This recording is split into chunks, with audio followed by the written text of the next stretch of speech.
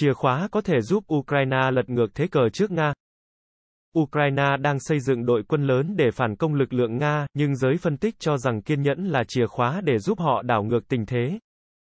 Bộ trưởng Quốc phòng Ukraine Oleksiy Reznikov cuối tuần qua cho biết Kiev hy vọng tập hợp một đội quân triệu người để cố gắng giành lại lãnh thổ bị Nga kiểm soát ở miền nam nước này.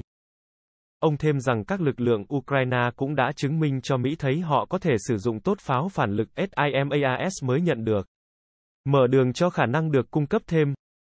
Dù những tuyên bố này có vẻ ấn tượng, giới quan sát cho rằng Ukraine vẫn khó có thể thuyết phục được các đồng minh rằng họ có thể phản công hiệu quả, ngay cả khi những tổ hợp SIMARS của Mỹ và M270 của Anh, với tầm bắn 70 đến 80 km, bắt đầu được sử dụng tốt trên chiến trường.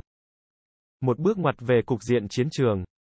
Nếu có xảy ra, sẽ cần rất nhiều thời gian, Jan Sabak, nhà phân tích quốc phòng và an ninh của Guardian, nhận định.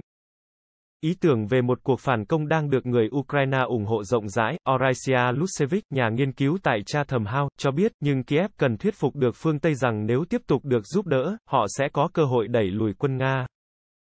Ukraine bắt đầu cuộc chiến với đội quân 125.000 lính chính quy, cộng với 100.000 vệ binh quốc gia và lính biên phòng, theo Viện Nghiên cứu Chiến lược Quốc tế, IISS. Kiev đang đặt mục tiêu tăng quân lên 700.000 lính chính quy và 300.000 dân quân. Tuy nhiên, câu hỏi mà nhiều nhà quan sát quan tâm là chất lượng của đội quân triệu người này đến đâu? Hơn 3 tháng giao tranh ở Donbass, miền đông Ukraine, đã khiến Ukraine tổn thất nhiều đơn vị tinh nhuệ do hỏa lực pháo binh áp đảo của Nga. Các nguồn tin tình báo quân sự Ukraine gần đây cho biết trung bình 100 lính Ukraine thiệt mạng mỗi ngày ở chiến trường miền Đông. Cùng với 300 đến 400 người bị thương mỗi ngày, con số thương vong của Ukraine có thể lên tới 15.000 người mỗi tháng. Ngoài ra, khoảng 7.200 lính Ukraine mất tích kể từ khi bắt đầu xung đột quân sự, nhiều người trong số đó thuộc các lực lượng tinh nhuệ nhất của Ukraine. Ukraine và các đồng minh phương Tây nhận thức rõ ràng về nhu cầu bổ sung lực lượng. Anh bắt đầu đào tạo cho khoảng 600 tân binh Ukraine các kỹ năng chiến đấu cơ bản. London cam kết hỗ trợ đào tạo khoảng 2.400 lính Ukraine cùng lúc và 10.000 người sau mỗi 120 ngày. Một số tân binh Ukraine, có độ tuổi từ 18 đến 60, là những người chưa từng bắn súng, nên cần được đào tạo từ đầu. Tuy nhiên, quá trình huấn luyện cơ bản dự kiến không mất nhiều thời gian, một huấn luyện viên người Anh cho biết lúc đầu các tân binh chỉ có thể bắn trúng 50% mục tiêu bằng súng trường, nhưng tỷ lệ này hiện đã là 80%. Các chương trình huấn luyện quân sự như vậy rất quan trọng đối với Ukraine, nhưng một chiến dịch phản công đòi hỏi nhiều hơn thế, theo Jan Sabak. Nó yêu cầu sử dụng chiến lược kết hợp với khí tài, khả năng tập trung lực lượng trên chiến trường và vũ khí tân tiến từ phương Tây. Cho đến nay, số tổ hợp SIMAS mà Mỹ chuyển cho Ukraine đã tăng từ 4 lên 12. Nhưng Kiev sẽ cần nhiều thời gian để tiếp nhận thêm và huấn luyện cho binh sĩ cách sử dụng chúng thuần thục. Ukraine đã nỗ lực thuyết phục phương Tây để có được các loại vũ khí tiêu chuẩn NATO, khi nước này ngày càng cạn nguồn cung đạn dược thời Liên Xô. Tuy nhiên, vũ khí mới cũng mang tới vấn đề mới, khi họ phải tốn nhiều thời gian học cách sử dụng chúng. Dù vậy, những dấu hiệu tích cực đã xuất hiện. Cuối tuần qua, bình luận viên người Nga Igor Gerken cảnh báo trên Telegram rằng các hệ thống phòng không của Moscow tỏ ra không hiệu quả trước các cuộc tập kích bằng SIMARS. Gerken thêm rằng trong năm, 7 ngày qua, hơn 10 kho đạn và hậu cần cùng khoảng 10 sở chỉ huy của lực lượng Nga ở vùng Kherson, miền nam Ukraine, đã bị tấn công. Ukraine hy vọng bằng cách tập kích sâu hơn vào phòng tuyến đối phương, hệ thống SIMARS sẽ làm gián đoạn khả năng tiếp tục tấn công của Moscow ở Donbass. Một trong những yếu tố quyết định thành bại trong chiến dịch phản công của Ukraine là liệu Moscow có thể thực hiện chiến dịch tấn công tổng lực vào Slovian và Kramatorsk, hai thành phố đông dân nhất ở tỉnh Donetsk. Hay không? Nga đã bắn khoảng 20.000 quả đạn pháo mỗi ngày, từ từ phá hủy Severodonetsk và các thành phố, thị trấn trên đường tiến quân tới Slovian và Kramatorsk. Trong khi đó, Ukraine đang đối mặt nhiều thách thức. Sức mạnh không quân của nước này rất hạn chế, trong khi tiến độ cung cấp tiêm kích MiG-29 từ các đồng minh phương Tây diễn ra chậm chạp.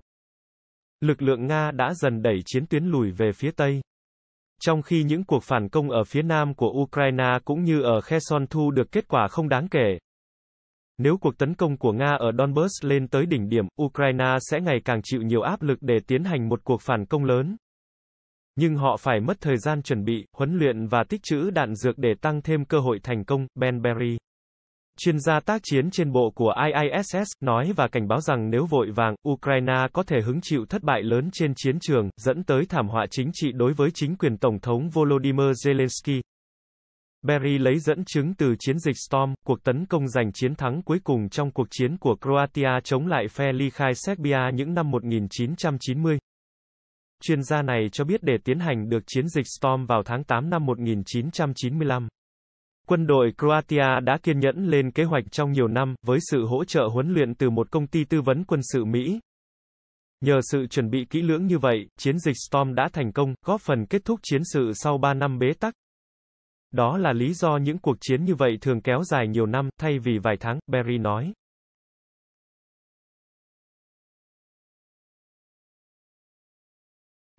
Tổng thống Đức Frank-Walter Steinmeier đã vừa có chuyến thăm căn cứ quân sự của Mỹ ở Kremlin, Đức, khẳng định quyết tâm của Mỹ và Đức cùng đoàn kết để ủng hộ Ukraine trong cuộc xung đột với Nga. Căn cứ quân sự Grafenwu nằm ở bang Bavaria, miền Nam nước Đức, là cơ sở đào tạo quân sự lớn nhất của Mỹ ở châu Âu. Phát biểu trước các binh sĩ Mỹ, Tổng thống Đức Frank-Walter Steinmeier khẳng định cam kết của Đức trong nỗ lực cùng Mỹ ủng hộ Ukraine. Mỹ và Đức, hai quốc gia trong tổ chức Hiệp ước Bắc Đại Tây Dương, cùng thống nhất sự ủng hộ với Ukraine về mặt chính trị, tài chính, quân sự và nhân đạo. Sự hỗ trợ này là hết sức cần thiết với Ukraine. Đây là lần đầu tiên một Tổng thống Đức tới thăm căn cứ quân sự nước ngoài đóng quân tại Đức trong hơn 25 năm qua. Trong chuyến thăm, Tổng thống Đức cũng cam kết tăng cường khả năng quốc phòng của mình và cùng với Mỹ tăng cường khả năng đóng góp và củng cố vị thế của NATO.